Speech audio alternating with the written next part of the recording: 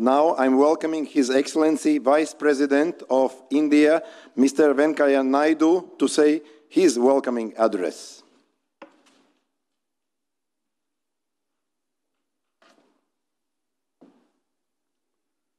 Excellency Mr. Egidijus Levits, Honorable President of Latvia, Excellency Mr. Ralph Nemiro, Minister of Economics, Mr. Sanjay Dhotre, Honorable Minister of State from India, and uh, members of uh, Parliament who are part of my delegation, His Excellency Ambassador Artis Bertulis of Latvia to India, Mr. Andris uh, Vogelis, Director, Latvian Investment and Development Agency, and Mr. Ashish Sharaf from Assocham, uh, leading uh, Indian business delegation, Ambassador Monika Kapil Mohta to Lat- Latvia and Sweden, distinguished guests, business and industry leaders, my dear brothers and sisters. It's a matter of great pleasure and honor for me and my delegation to be here in this great and beautiful country and to have the opportunity to be with you all. On behalf of my delegation and on my own behalf, I express my gratitude to the warm welcome and hospitality extended to us, making our stay here more comfortable.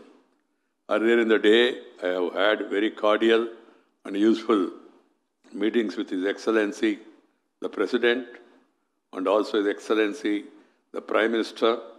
We have shared our common desire to strengthen bilateral economic and trade relations.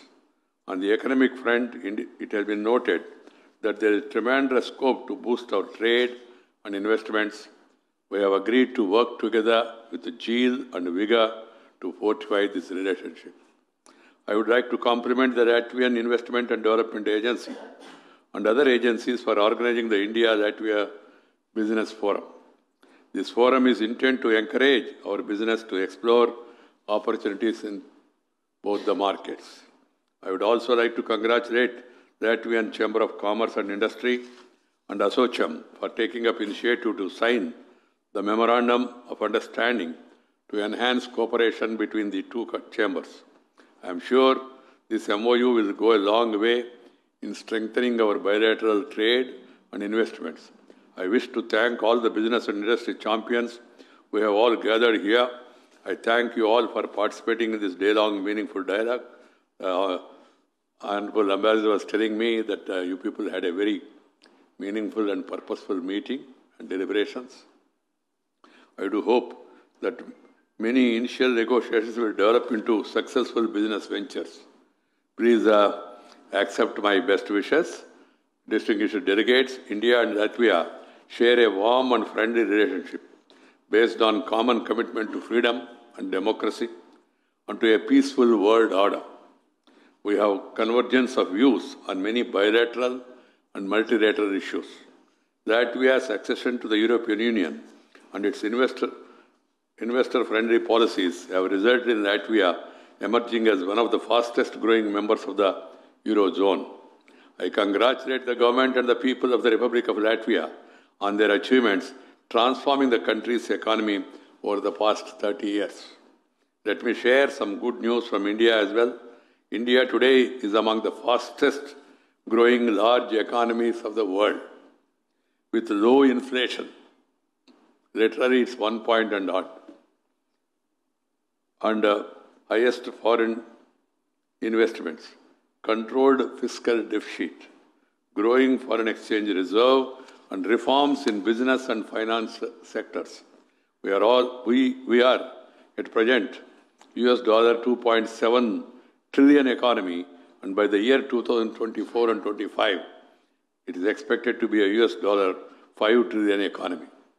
India's labor force is expected to touch 160 to 170 million by 2020, according to a study by Assocham and Thought Arbitrage Research Institute. India is on track to achieve upper middle class income status in the back of digitization.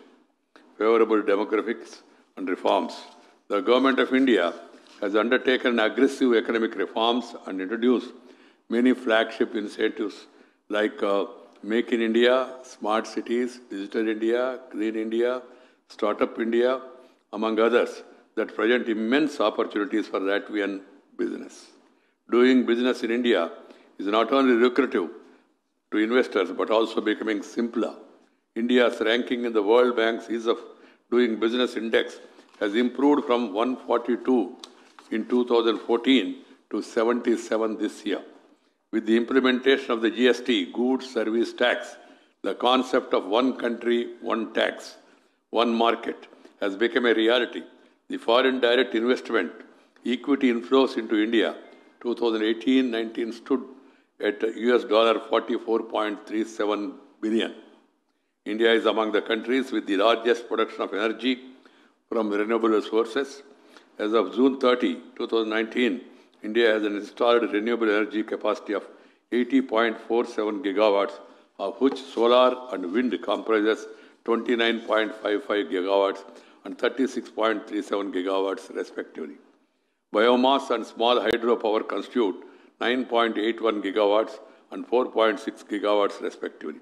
Thus, India offers one of the largest investment opportunities in the renewable space. The Government of India allows 100% FDI under the automatic route for projects of renewable power generation and distribution. We are focusing on our making our growth inclusive and sustainable, guided by the India's commitment to a healthy planet and our nationally determined contribution as per the Paris Accord on climate change. We have pledged by 2030, 40% of the installed power generation capacity shall be based on green sources we aim to increase our capacity to 175 gigawatts of renewable energy capacity by 2022. Our initiative on the International Solar Alliance will enable India to be a pioneer in moving towards a green global economy. As the world's economy progresses towards fourth industrial revolution, where IT, high-tech, artificial intelligence, and innovation will play key roles, Latvia and India can work together for mutual gains. It is heartening to note that the bilateral trade between India and Latvia stands at US dollar 273.97 million in 1819, which I believe is not is a, is a lot below our ex existing potential. There is a lot of scope for both of us to work together and move forward. Latvia's geostrategic location, along with all-weather ports, offer excellent infrastructure and opportunities in facilitating trade. I am quite hopeful that the companies in our countries would contribute further towards economic prosperity of both of our countries. There is immense scope for collaboration by way of technology transfer and investment in areas like pharmaceuticals, in healthcare, telecommunication, IT and software development, heavy engineering and biotechnology, among others. We would be happy to see a high-level participation from Latvia in the India-Europe 29 Business Forum. I sincerely hope that our business ties will become a strong pillar of our bilateral relations and the business leaders of both the countries will work together to create wealth, employment, and enhance the quality of life in each of our countries. I wish you all the best in your deliberations today and also the conclusions that you are going to arrive at and as well as the continuing dialogue and collaboration you are going to be engaged in through the next few years to come. Thank you very much. Namaskar. Jai Hind.